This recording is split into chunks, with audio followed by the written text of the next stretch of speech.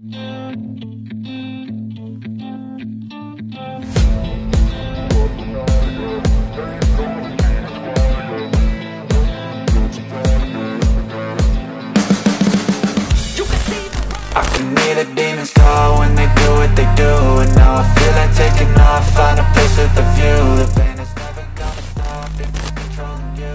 Pelatih Timnas Indonesia U20 Sintayong bereaksi keras atas kritikan yang diberikan pelatih Persija Jakarta Thomas Doll. Menurut Sintayong, bila dirinya tak paham sepak bola, tak mungkin bisa menjadi pelatih level di Piala Dunia. Respon itu diberikan Sintayong setelah dikritik Thomas Doll karena menggelar pemusatan latihan Timnas Indonesia U20 dengan jangka panjang. Thomas Doll menilai Sintayong tak paham sepak bola karena seharusnya pemain muda ditempa pada kompetisi.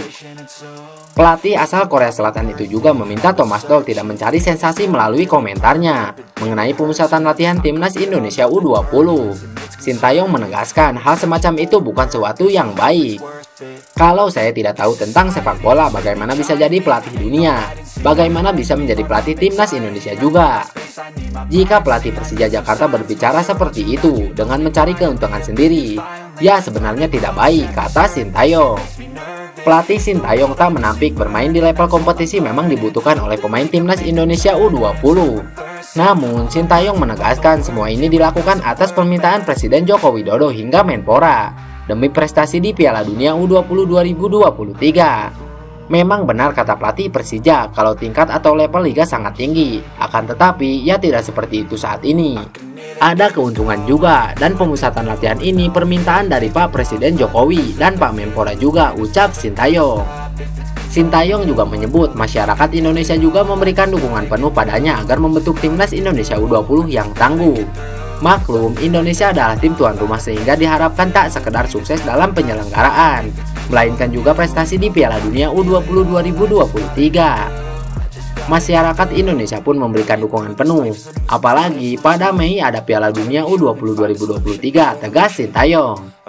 Pemusatan latihan timnas Indonesia U20 sudah berlangsung sejak 1 Februari 2023. Kali ini, kegiatan berpusat pada persiapan Piala Asia U20 2023 lalu setelahnya Piala Dunia U20.